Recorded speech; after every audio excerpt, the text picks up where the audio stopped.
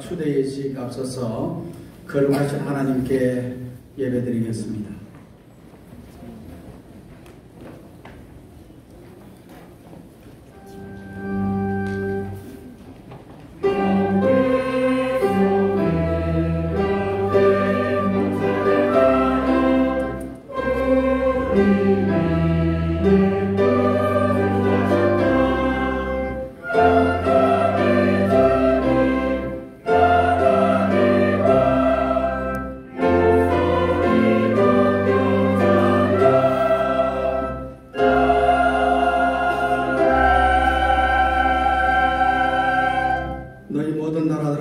여호와를 찬양하며 너희 모든 백성들아 그를 찬송할지어다.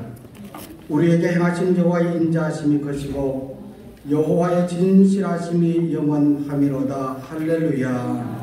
아멘. 찬송가 595장입니다